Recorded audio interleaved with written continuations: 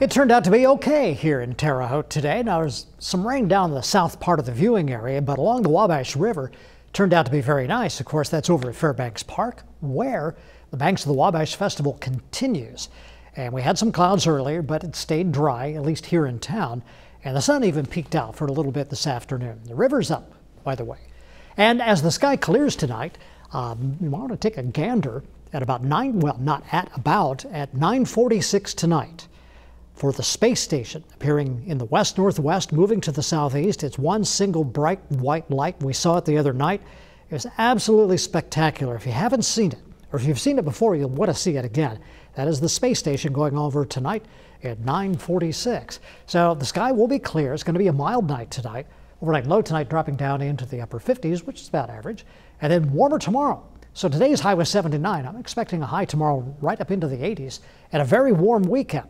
So 85 tomorrow, 86 on Saturday, and then 88 on Sunday. Right now it seems like the rain is going to stay away, but as we get into Monday, then we have the possibility of rain and then maybe off and on rain as we get into next week.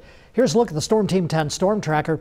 Not a whole lot of rain left over. A little spot of rain here in Owen County, down into Monroe County, but most of this rain now is moving out of the News 10 viewing area, and I have just a few little smudges of rain right here in uh, eastern Greene County. But again, that's all moving out as the sky begins to brighten up. It's going to be a beautiful sunset tonight, I think. So you might want to check that out as well. So at 9 o'clock tonight, the sky is clearing. Here's midnight tonight to 6 o'clock tomorrow morning.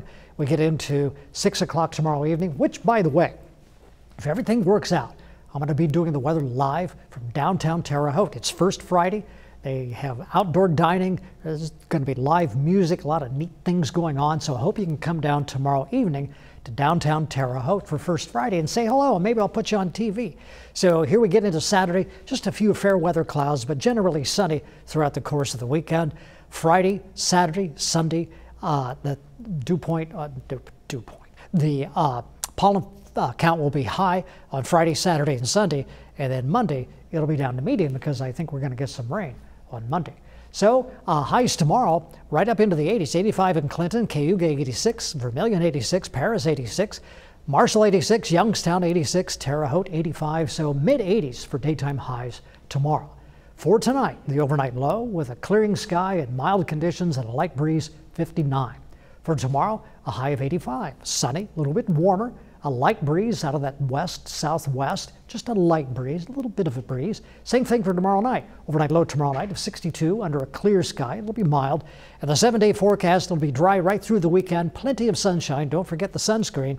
But then we get into next week. and looks like beginning on Monday, especially Monday afternoon, we'll have a day to day chance of at least a scattered shower or thunder shower.